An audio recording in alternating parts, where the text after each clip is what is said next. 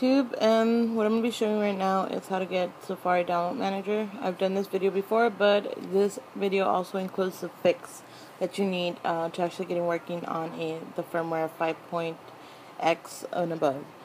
Now um, for those of you who tried downloading it um, you'll see that your Safari would crash if you upgraded to the 5.1 firmware.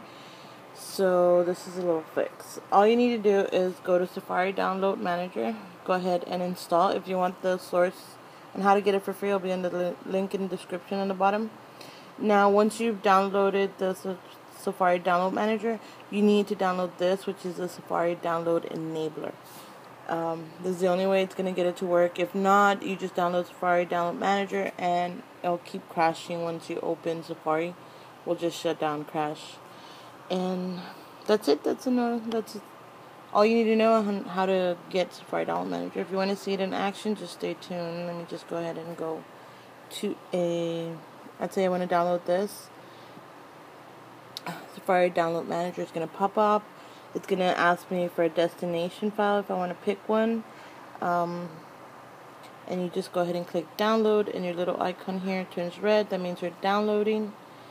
And. Uh, you can see it's right there. I'm canceling because I downloaded like several times for the video. And that's it. Don't forget to rate, comment, subscribe. Y'all have a good day.